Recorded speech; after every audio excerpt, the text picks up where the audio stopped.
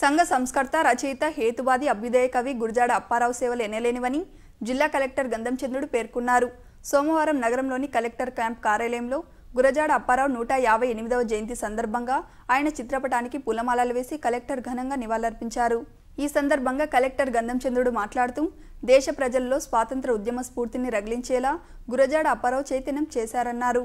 తన రచనల ద్వారా సాంఘిక పరివర్తనకు గురజాడ అప్పారావు ఎంతో కృషి చేశారన్నారు.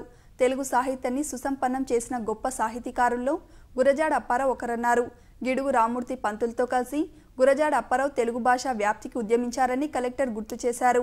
ఆయన బాటలో ప్రతి ఒక్కరూ పయనించాలని పిలుపునిచ్చారు.